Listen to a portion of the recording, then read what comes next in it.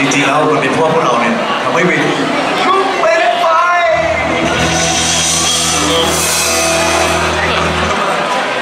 อาจจะค่อยๆบิวมันขึ้นแล้วกันนะ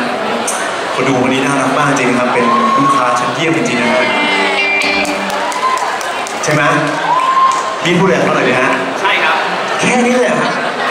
กล่าวทักทายคนที่เดินทางมานะครับวันนี้หนึ่งศูนย์หนึ่งคนเต็มเลยครับ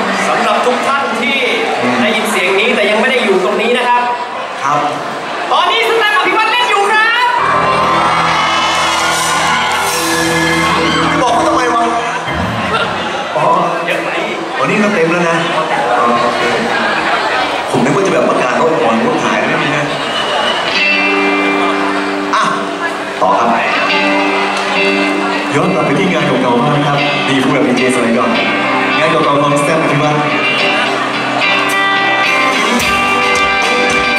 เดี๋ยวนี้ได้ยินเรียนบันไดเสียง G major